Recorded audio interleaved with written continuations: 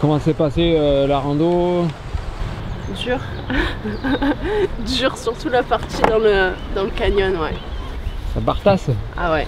En plus, nous, on a choisi l'option euh, tracé droit, raccourci, donc... Euh, ben, on en prend plein les jambes, quoi.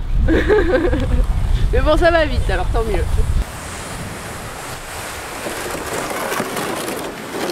Ouais, pour vous, comment ça se passe alors? Pas mal dans l'ensemble, euh, niveau équipe euh, et puis euh, la forme.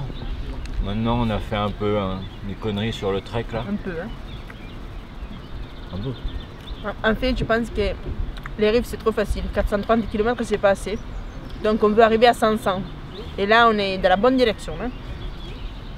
Mais ouais. Qu'est-ce que je peux rajouter? Ah.